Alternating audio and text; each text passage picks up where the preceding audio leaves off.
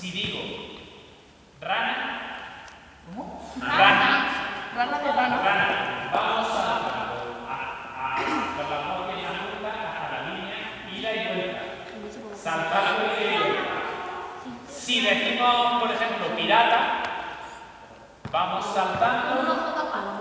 No, vamos a pata coja, ida y vuelta. Pirata, rana. Si decimos, decimos espalda, si decimos espalda, lo mismo, vamos atrás, es como si fuese el feo, ¿no? Lo que hacemos es tirar hasta la línea y volver corriendo de espalda.